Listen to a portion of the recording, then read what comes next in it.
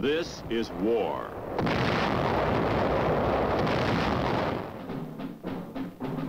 War and its masses. War and its men.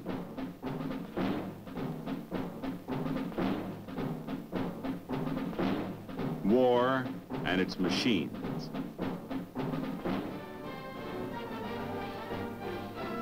Together they form the big picture.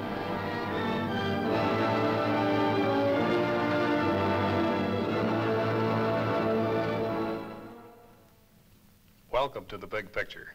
I'm Captain Carl Zimmerman. The Big Picture is a report to you from your Army, an Army committed by you, the people of the United States, to stop communist aggression wherever it may strike. The Big Picture traces the course of events in the Korean campaign through first-hand reports of our combat veterans and through film taken by combat cameramen of the armed forces and produced by the Army Signal Corps. These are the men who daily record on film the big picture as it happens, where it happens. Today we'd like to show you what patrol action in Korea was like. You'll see the return of refugees to the city of Seoul. You'll see an infantry attack on Hill 1179. And later, we'd like you to meet two Signal Corps combat cameramen, Corporal John Romanowski and Sergeant Les Marks, two of the many cameramen who filmed the big picture in Korea. Now for part of the big picture, let's go back to July 20th, 1951. From 20 July to 20 August, the truce talks at Kaesong continued to hold the Korean spotlight, with limited ground combat resulting in only minor changes in the battle line. A small UN offensive above Kumhwa reduces a red bulge and straightens the Allied line in the central sector. To the east, continued pressure by 8th Army units gains several miles north of Inje and Yanggu. As truce negotiations threaten to break down, UN commanders are alert for any movement by the Red forces, which have been greatly strengthened in men and supplies during the period of the Kaesong conferences.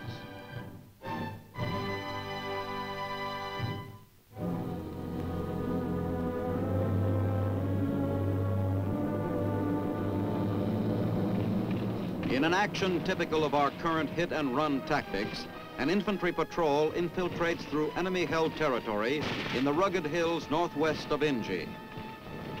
Short advances are made into hostile regions to locate red outposts by drawing their fire.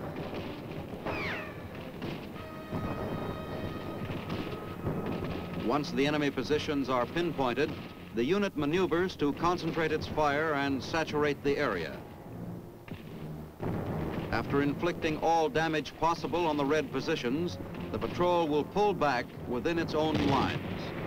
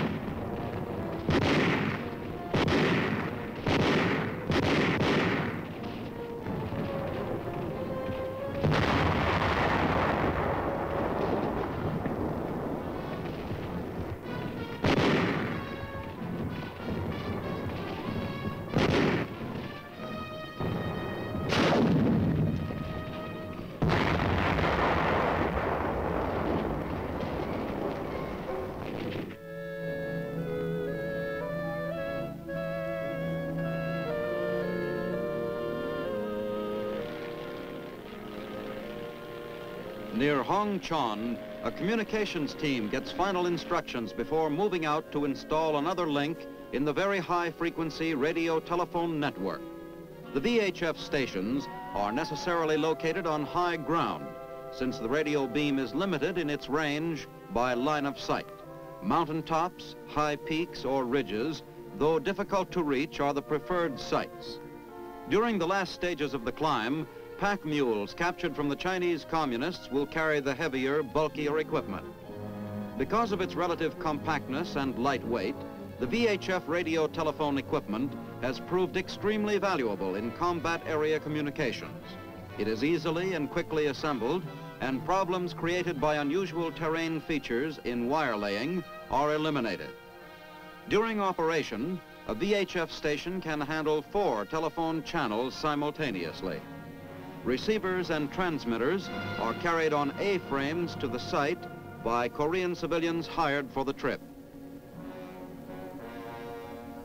Antennas are set up on the highest ground in the site area to obtain the maximum range.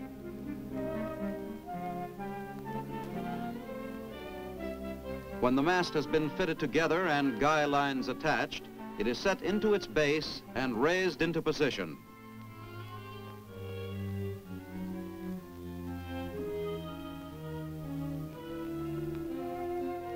The antenna operating on a directional beam is carefully oriented in azimuth.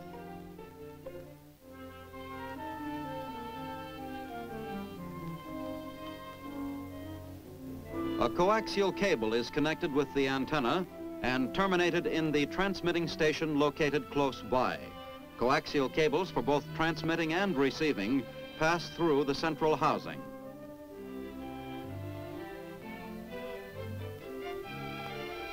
Antennas for transmitting and for receiving are raised and guyed as the installation nears completion. More supplies are moved to the station by an ingenious system of long lines and pulleys, a saving in time and manpower.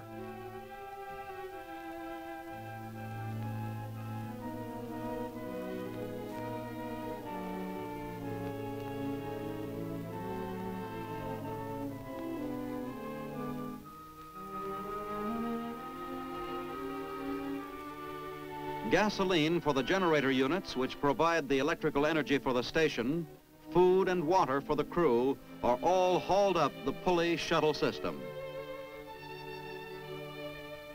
The newly activated station is ready to make radio contact with another unit. Messages sent through the radio telephone channels pass from telephone to wire to switchboard. The carrier then separates messages into one of four available channels which are transmitted by the VHF radio.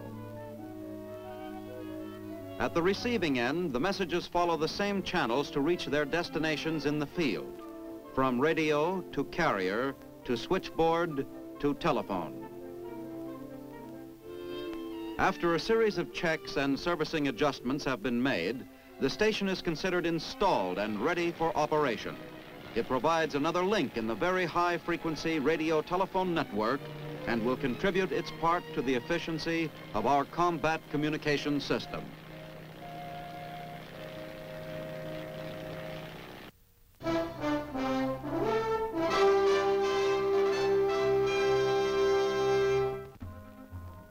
At an 8th Army Quartermaster supply point in Korea, refrigeration vans arrive to pick up frozen meats and vegetables.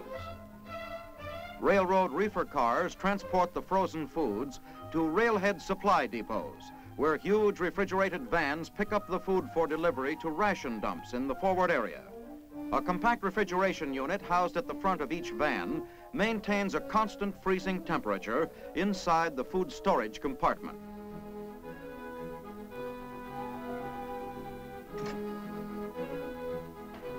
These refrigeration units operate dependably and efficiently under the most adverse conditions, over rough roads and in all kinds of weather. The entire operation of delivering perishable foodstuffs to frontline troops must be conducted with precise timing. Delivery schedules are rigidly adhered to in order to prevent spoilage. Trucks from the fighting units coming to pick up supplies for their messes must also meet the schedule or delays and traffic snarls result. When loading of distribution trucks is completed, they move right out, heading for their respective outfits. The nutrition and palatability of these fresh foods are a valuable morale builder for the combat troops.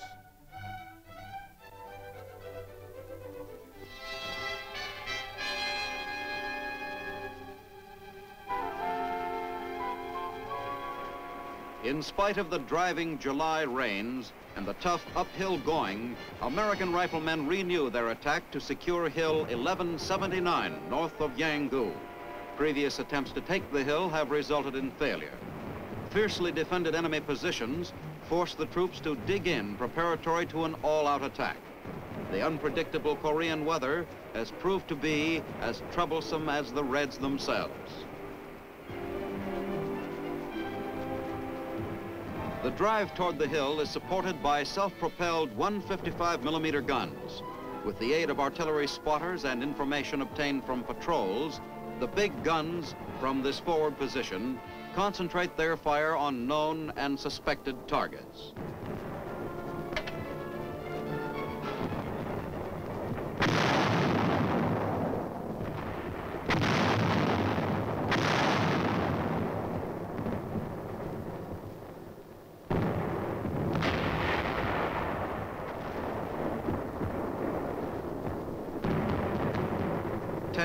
Coordinate their fire in the assault. Surface and air bursts clear the way for the riflemen.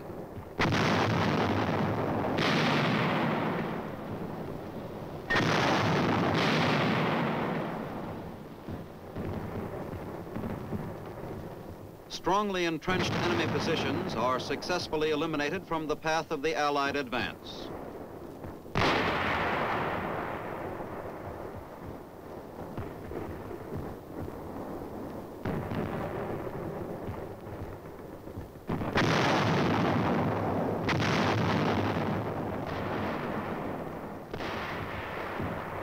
Creeping barrage, a heavy mortar company joins the assault on Hill 1179 in a continuous bombardment of 4.2 shells.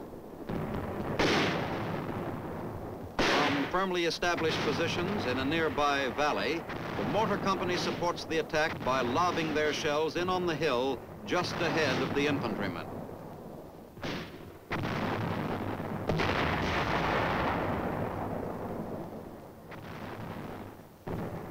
C-119 flying boxcars drop ammunition and supplies as the UN unit reorganizes after the hill is taken.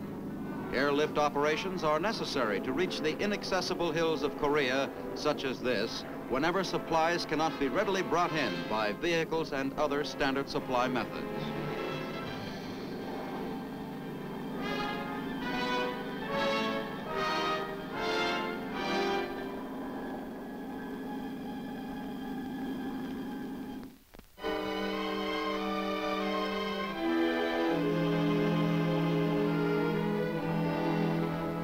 The peace talks continue and the United Nations line in the north becomes stable, a mob of exhausted, rag-clad refugees swarms back toward Seoul. They gather on the south shore of the Han River, hoping to cross and return to their homes, which they abandoned when the city was last left to the enemy. Not all have returned. Thousands have died from hunger and exhaustion along the road. Exposure to weather and disease have taken countless others.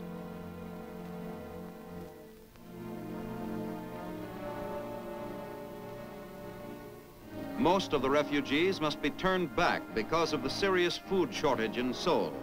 For the present, only farmers and their families will be allowed to re-enter the city. Military authorities must check the papers of everyone seeking to return.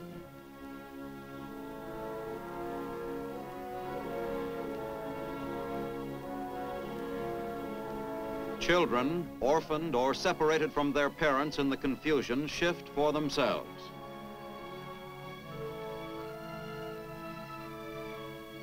The screening process is a heartbreaking job. Most of these people have walked hundreds of miles to get back and have waited for days to have their papers examined.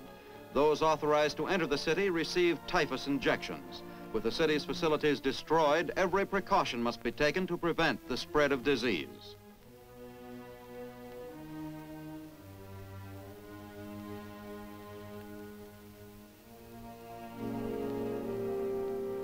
As the screening goes on, the refugees who have been processed start for the river.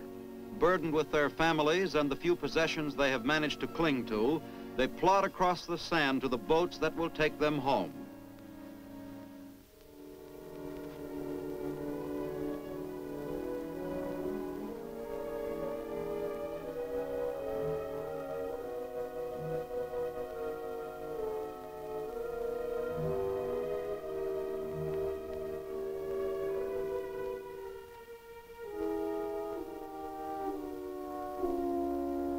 Have been many delays, but for those who have reached the boats, the long journey is almost over.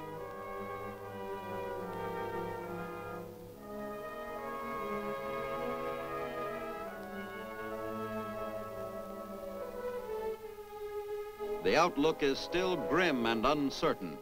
The city is in ruins. They will find their homes nothing more than heaps of ashes and rubble. But at least it is hope and a possible end to the months of aimless wandering.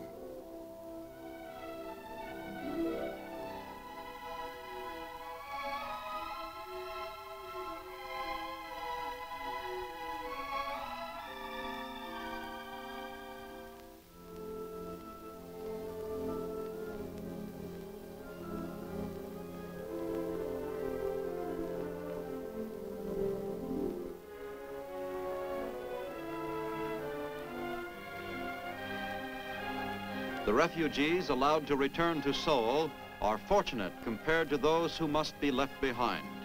For these unhappy people, like thousands of others wandering through Korea today, there is not even the small comfort of a home in the ruins.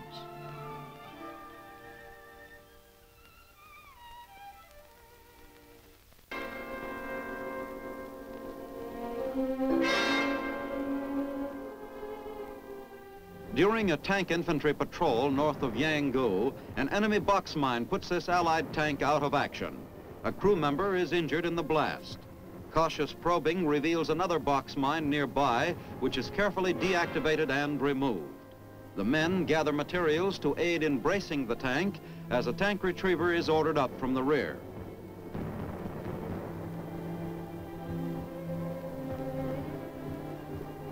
Mud and rain, the universal enemies of the soldier, slow down the work.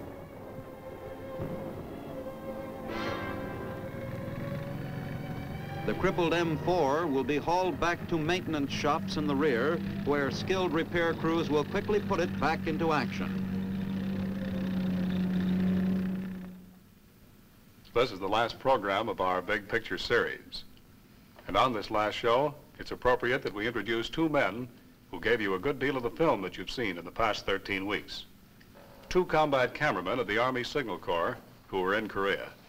We'd like you to meet Corporal John Romanowski of Chicago, Illinois, and Sergeant Lester Marks of Providence, Rhode Island. Well, now, John and Les, you brought the Korean fighting right into the living rooms of America with your film. And I think these people out there would like to know just exactly how you did that. Now, you, you saw all the combat units in Korea, didn't you? We sure did. Cover just about everyone there is. Uh-huh. Now, when you went up to the front, what did, what did the infantry think uh, seeing the men with cameras up there? Well, they uh, they were sort of amazed to see a man up there with a camera and not a another rifle. They uh, guess they never expected to see us up there, but we went up and got our shots, and uh, they I believe that the infantry gained a new respect for the Signal Corps cameramen when they saw us coming up there. Oh, the infantry, I guess, was kind of a bit of a ham anyway on top of that. You'd be up alongside them taking your pictures with them, and the guy would turn around and look at you and, what's the matter, you crazy? What are you doing up this part of the world? As if we, we don't belong there. Well, it meant, it meant a good deal to their morale, didn't it, Les? Oh, it certainly did. You'd uh, be taking pictures of one squad, and uh, if you, they'd feel slighted if they didn't take pictures of squad number two because they all want the pictures. They all want their mothers and fathers to see what's going on back home. Well, they knew that the story of their unit was getting home, is that Yes, it? they sure did. Mm -hmm. Well, now, how did you men get around? Uh, by jeep mainly, we'd uh, travel all over the place, scrounging food off one unit and gas off another, and sometimes we lived like kings, and sometimes we just bunking with the infantry on there in their foxholes. Uh, we also did a lot of hitchhiking and a lot of walking, and a lot of the walking was uphill. And it always seemed that when you'd get to the top of one hill, there was that proverbial other hill ahead of you, and it was sort of rough. Well, John, uh, what, what equipment did you use? Well, uh, we used the uh, 35 millimeter combat camera with the uh, short focal length lenses. We could have used telephoto lenses at times, but uh, it takes you too far away from the action and you don't get the proper mood. That proves you So, were right up there. You get get in there and you get your shots. And, and uh, Some weight to this thing, John. Yes, sir. That's two weights, what we call. One- when you're going uphill and another one when you're coming down. Well, what other equipment did you have with we you? had a, uh, carried our musette bags with uh, 1,500 to 2,000 feet of film and rations if we managed to scrounge some, and uh, your caption books and pencils, and we also had a uh, 45 caliber pistol, which was very similar to our short lenses. We had to be right in close if we ever expected to use it. Well, now, you went out on patrol with these men very often. We sure did. Uh, in fact, I sort of made a specialty of it. Uh, some of some of the patrols was routine, and others a little spectacular. I can recall one instance where I was out with this patrol, and I got ahead of the patrol somewhat, and uh, uh, the commies sprung a trap on us, and uh, they wounded about three or four men of the patrol, and so I hit the ditch, crawled back to my jeep, turned my jeep around, and uh, well, I stopped by the patrol. They immediately piled on top of my Jeep, on top of the hood, that is, and I scooted down back towards our own lines. As was passing into our own lines, uh, there's a few newsreel cameramen there. They took pictures of us entering our own lines, which was news for them, but not for the Army. When you got the picture out, even though Marks didn't take it, huh? Oh, yes, I sure did. Well, now, you saw a lot of firefights over there, too. You were right with them then, weren't you? We, we sure did. We saw uh, firefights when we were with the infantry, and we'd go out on tank patrols and stuff, and we saw got artillery barrages and snipers, and received some mortar fire also. Right. Speaking of mortars, I recall another incident here.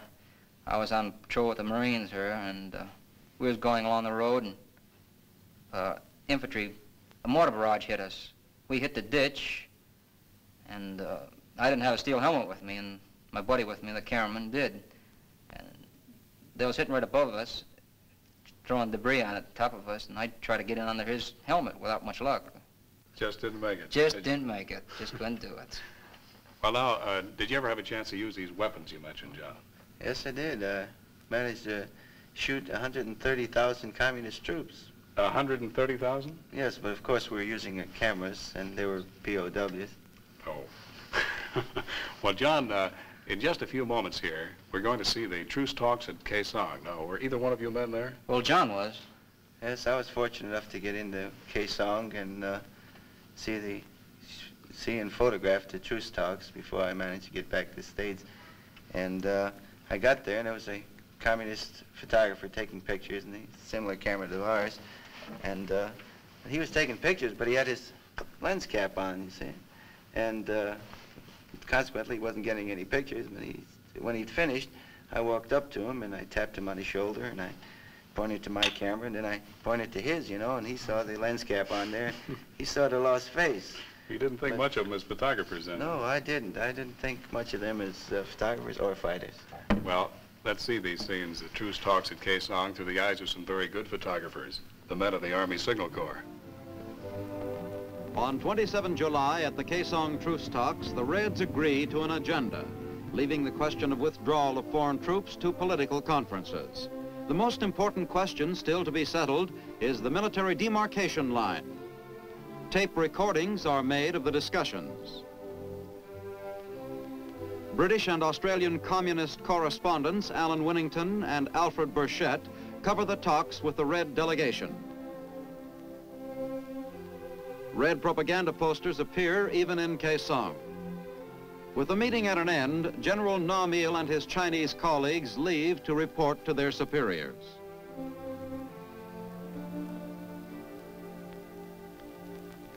The convoy of United Nations negotiators returning from Kaesong find themselves isolated when the ponton bridge over the Imjin River is washed away during one of the many unpredictable floods in the area.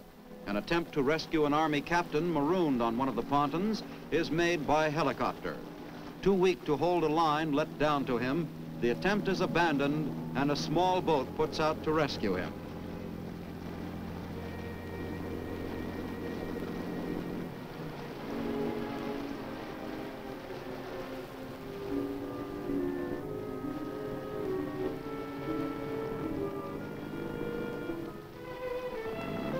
Personnel in the isolated convoy were airlifted by helicopter to Munsan in a two-hour shuttle operation.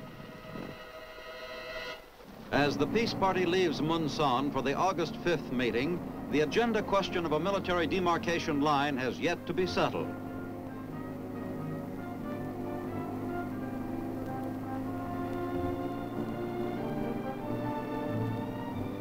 At Kaesong, Admiral Joy and General Craigie hope to meet the Reds on more amiable terms. They are in for a rude shock. In direct violation of the terms laid down for the truce talks, the communists have unaccountably permitted a unit of 83 Chinese soldiers in full battle dress to enter the neutral area. Fully armed with mortars, rifles, pistols, and submachine guns, they make their camp within full view of the conference headquarters.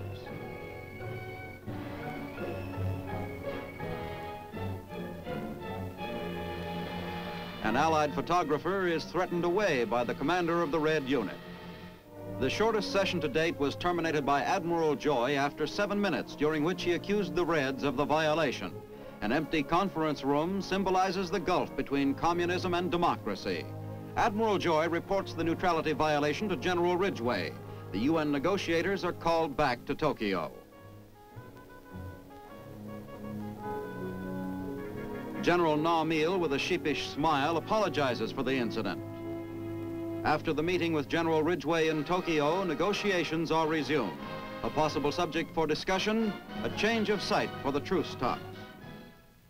With this program, the Army concludes its 13-week series, The Big Picture.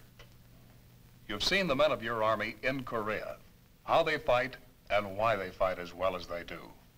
Because they're the best trained, the best equipped, the best led, and the best informed soldiers in the world today.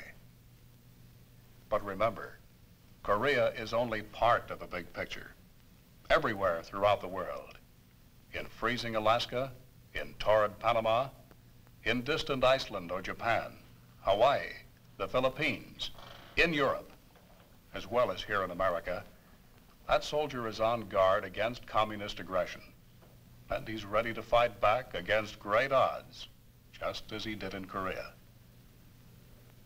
When you see the uniform of the United States Army, remember, that's your uniform.